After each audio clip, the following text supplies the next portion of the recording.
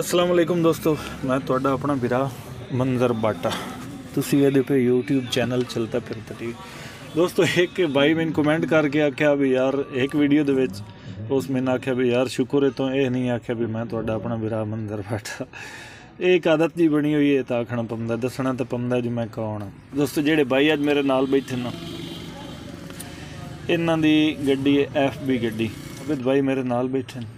ਇਹਨਾਂ ਕੋਲ ਪੁੱਛਦੇ ਆਂ ਵੀ ਇਹ ਕਿਦੇ ਕਿਦੇ ਚਲਾਉਂਦੇ ਨੇ ਕਿੱਥੋਂ ਦੀ ਗੱਡੀ ਹੈ ਤੇ ਮੰਥਲੀ ਇਨਕਮ ਕਿੰਨੀ ਆਉਂਦੀ ਹੈ ਚੈੱਕ ਕਰਦੇ ਕਿੰਨੇ ਪੈਸੇ ਬਚਾ ਲੈਂਦੇ ਨੇ ਕੀ ਹਿਸਾਬ ਕਿਤਾਬ ਹੈ।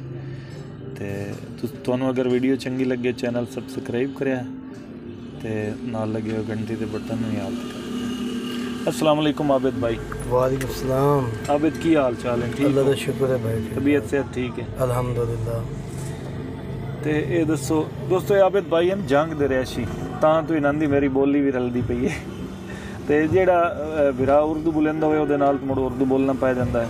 ਜਿਹਦੇ ਨਾਲ ਆਪਣੀ ਬੋਲੀ ਰਲੇ ਉਹਦੇ ਨਾਲ ਮੁੜ ਉਰਦੂ ਬੋਲਣ ਦੀ ਕਿਹੜੀ ਲੋੜ ਹੈ ਜੀ। ਆਬੇ ਦੇ ਐਫਬੀ ਗੱਡੀ ਹੈ ਤੁਹਾਡੀ। ਜੀ ਬਾਈ ਯਾਰ ਤੇ ਕਿਦੇ ਚਲਿੰਦੇ ਹੋ? ਅੱਜ ਤੁਸੀਂ ਕਿਹੜੀ ਸ਼ੈ ਲੋਡ ਕਰਕੇ ਆਇਆ ਇੱਥੇ? ਅਸੀਂ ਸਦਗੋ ਦਜਵਾਲ ਲੋਡ ਕਰਕੇ ਆਏ ਸੀ ਜੀ ਖਾਨਪੁਰ। ਅੱਛਾ। ਉਤੋਂ ਫਿਰ ਸ਼ੇਖ ਵਾਨ ਤੋਂ ਡੰਗਰ ਪੈਨ ਨਹੀਂ, ਹੈਦਰਾਬਾਦ ਖਾਨਪੁਰ ਕਟੋਰਾ? ਜੀ ਖਾਨਪੁਰ ਕਟੋਰਾ। ਅੱਛਾ। ਉਹਦਾ ਕਿਤਨੇ ਗੱਟੂ ਆਲੂ ਹਾਣ ਜਿਹੜੇ ਤੁਸੀਂ ਲੋਡ ਕੀਤੇ? ਉਹਦਾ 160 ਗੱਟ ਭਾਈ 160 ਗੱਟੂ। ਵਜ਼ਨ ਚੋਖਾ ਹੁੰਦਾ ਹੈ? ਵਜ਼ਨ ਉਹਦਾ ਬਣ ਗਿਆ ਜੀ ਕੋਈ 8 ਟਨ।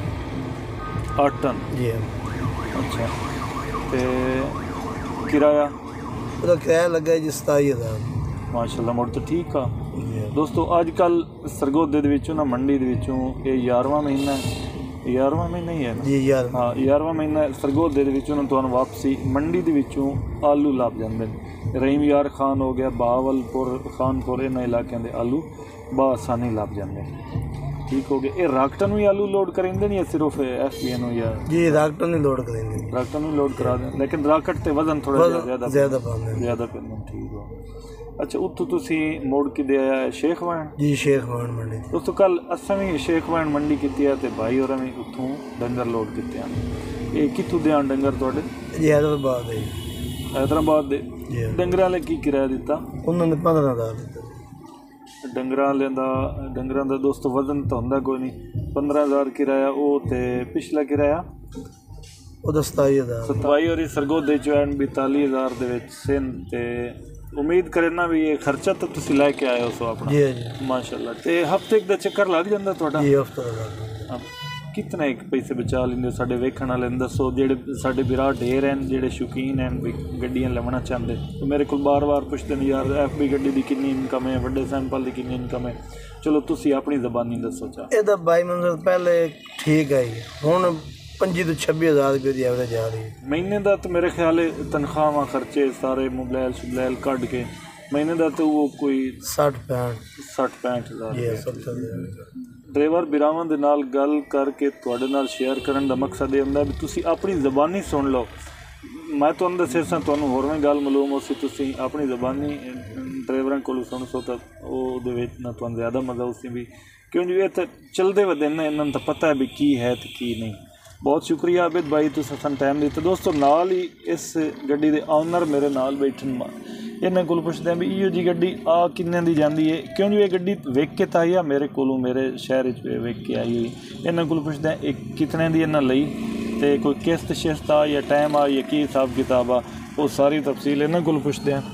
ਨਾਲ ਚੈਨਲ ਹੀ ਤੁਸੀਂ ਸਬਸਕ੍ਰਾਈਬ ਨਹੀਂ ਕੀਤਾ ਤਾਂ ਉਹ ਵੀ ਕਰ ਲਵੇ। ਅਸਲਾਮ ਵਾਲੇਕੁਮ ਭਾਈਜਾਨ ਵਾਲੇਕੁਮ ਸਲਾਮ। ਭਾਈਜਾਨ ਆਪਣਾ ਕੀ ਨਾਮ ਹੈ? ਮੁਹੰਮਦ ਅਕਰਮ। ਮੁਹੰਮਦ ਅਕਰਮ ਸਾਹਿਬ ਇਹ ਗੱਡੀ ਮਾਸ਼ਾਅੱਲਾ ਤੁਹਾਡੀ ਆਪਣੀ? ਜੀ ਹਾਂਜੀ। ਗੱਡੀ ਆਪਣੀ ਹੈ ਇਹ ਕਿਤਨਾ ਅਰਸਾ ਹੋ ਗਿਆ ਗੱਡੀ ਤੁਸੀਂ ਲਈ ਨੂੰ ਗੱਡੀ ਨੂੰ ਹੋ ਗਏ ਜੀ ਤਕਰੀਬਨ 9 ਮਹੀਨੇ। ਇਹ ਕਿਹੜਾ ਮਾਡਲ ਹੈ? 93 ਹੈ ਜੀ। ਇਹ ਨਰਗਲਬੂਜ਼ ਹੈ ਜਾਂ ਐਫਬੀ? ਨਹੀਂ ਐਫਬੀ ਹੈ ਜੀ। ਟਰੱਕ ਹੈ ਜਾਂ ਲੋਡਰ ਹੈ ਜਾਂ ਬੱਸ ਹੈ? ਬੱਸ ਕਨਵਰਟ ਹੈ ਜੀ। ਬੱਸ ਕਨਵਰਟ ਹੈ। ਹਾਂਜੀ। ਇਹ ਕਿੰਨੇ ਪੈਸਿਆਂ ਦੀ ਆਈ ਆ ਗੱਡੀ? ਇਹ ਸੀ ਲਈ ਆਈ ਜੀ 5.5 ਲੱਖ ਦੀ। ਅੱਛਾ। ਜਿਹਦੇ ਵਿੱਚ 15 ਲੱਖ ਐਡਵਾਂਸ ਹੈ ਜੀ। 15 ਨਕਦ? ਹਾਂਜੀ। ਬਾਕੀ? ਬਾਕੀ 10 ਮਹੀਨੇ ਦਾ ਟਾਈਮ ਹੈ ਜੀ। ਅੱਛਾ। ਤੇ ਨਹੀਂ ਉਹ ਬਾਕੀ ਨਹੀਂ ਬਾਕੀ ਜਿਹੜੇ ਪੈਸੇ ਨੇ ਤੁਸੀਂ 10 ਮਹੀਨੇ ਬਾਅਦ ਇਕੱਠੇ ਦੇਵਣੇ ਆਣ ਜਾਂ 5-5 ਮਹੀਨੇ ਦੇ ਦੋ ਡਿਊ ਬਣੇ ਹਨ 5-5 ਮਹੀਨੇ ਦੇ ਦੋ ਡੀਲ ਹਾਂਜੀ ਪਹਿਲਾ ਡਿਊ 5 ਲੱਖ ਦਾ ਜੀ, ਸਹੀ ਦੂਜਾ 5.5 ਲੱਖ ਦਾ ਖਰਚਾ ਵੀ ਕੀਤਾ ਹੈ ਕਾਫੀ ਸਾਰਾ ਗੱਡੀ ਤੇ ਸਾਨੂੰ 30 ਚ ਪੈ ਗਈ ਹੈ। ਅੱਛਾ ਅੱਛਾ ਤੁਹਾਨੂੰ ਇਤਰੀ ਕਮ ਸ਼ਮ ਕਰਾਉਣਾ ਪੈ ਗਿਆ। ਹਾਂਜੀ। ਯਾਨੀ ਗੱਡੀ ਥੱਕੀ ਹੋਈ ਆ ਜਦੋਂ ਤੁਸੀਂ। ਹਾਂਜੀ। ਇਹ ਵੀ ਗੱਡੀ ਤੁਸੀਂ ਵੱਡੀ ਗੱਡੀ ਲੈਂਦੇ ਹੋ ਨਾ ਉਹਦੇ ਨਾਲ ਉਹਦੇ ਨਾਲ ਟਾਈਮ ਲਾਜ਼ਮੀ ਕਰਨਾ ਪੈ ਜਾਂਦਾ ਹੈ, ਕਿਉਂਕਿ ਕੋਈ ਗੱਡੀ ਦਾ ਬਕਾਇਆ ਸ਼ਿਕਾਇਆ ਨਾ ਹੋਵੇ ਪਿੱਛੇ ਉਹਦਾ ਪਤਾ ਲੱਗ ਜਾਂਦਾ। ਹੈ। ਨਾਲੇ ਕੁਝ ਆਸਰਾ ਵੀ ਹੋ ਗਿਆ। ਯਾਨੀ ਤੁਹਾਨੂੰ ਇਹ 30 ਲੱਖ ਦੇ ਵੀ ਗੱਡੀ ਪੈ ਗਈ। ਹਾਂਜੀ। ਇਹ ਪਾਸ ਕਿਤਨੀ ਹੈ? ਵਜ਼ਨ ਇਹਦਾ ਕਿੰਨਾ ਪਾਸ ਹੈ ਕਾਪੀ ਤੇ? ਕਾਪੀ ਤੇ 15000 ਕੇਜੀ ਪਾਸ ਹੈ। ਯਾਨੀ ਗੱਡੀ ਸਮੇਤ ਤੁਸੀਂ 15000 ਵਜ਼ਨ ਲੋਡ ਕਰ ਹਾਂਜੀ।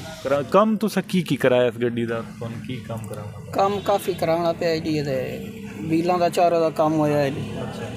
ਬਾਡੀ ਦਾ ਕੰਮ ਕਰਾਉਣਾ ਪਿਆ ਜੀ। ਅੱਛਾ। ਕਲੱਚ ਦਾ ਕੰਮ ਕਰਾਇਆ ਹੈ।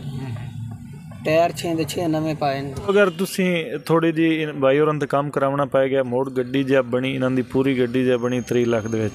ਅਗਰ ਤੁਸੀਂ ਕੁੰਜੀ ਹੋਈ ਗੱਡੀ ਲੈਂਦੇ ਹੋ, ਐਫ ਬੀ ਗੱਡੀ ਤੁਹਾਨੂੰ ਕਮੋ ਬੇਸ਼ ਯਾਨੀ 25 ਤੋਂ 30 ਦੇ ਦਰਮਿਆਨ ਤੁਹਾਨੂੰ ਲੱਭ ਜਾਸੀ। ਐਵੇਂ ਨਾ ਆਬਿਦ ਭਾਈ 25 ਤੋਂ 30 ਲੱਖ ਦੇ ਵਿੱਚ ਤੁਹਾਨੂੰ ਗੱਡੀ ਲੱਭ ਜਾਸੀ। ਕੁਝ ਨਕਦ ਦੇ ਕੇ 15 ਮਤਲਬ ਮਕਸਦ ਵੀਡੀਓ ਬਣਾਉਣ ਦੇ, ਤੁਹਾਨੂੰ ਦੱਸਣ ਦੇ ਵੀ ਅਗਰ ਤੁਹਾਡੇ ਕੋਲ ਪੂਰੇ ਪੈਸੇ ਨਹੀਂ 15 ਲੱਖ ਹੈ ਤਾਂ ਤੁਹਾਨੂੰ ਗੱਡੀ ਮਿਲ ਸਕਦੀ ਹੈ। ਠੀਕ ਹੋ ਗਿਆ। ਇਹ ਆ ਸਾਡੀ ਅੱਜ ਦੀ ਵੀਡੀਓ ਵੀਡੀਓ ਚੰਗੀ ਲੱਗੇ ਚੈਨਲ ਸਬਸਕ੍ਰਾਈਬ ਕਰਿਆ, ਨਾਲ ਲੱਗੇ ਘੰਟੀ ਮਿਲਦੇ ਹਾਂ ਕਿਸੇ ਅਗਲੀ ਵੀਡੀਓ ਦੇ ਵਿੱਚ। ਉਦੋਂ ਦਾ ਅੱਲਾ ਹਾਫਿਜ਼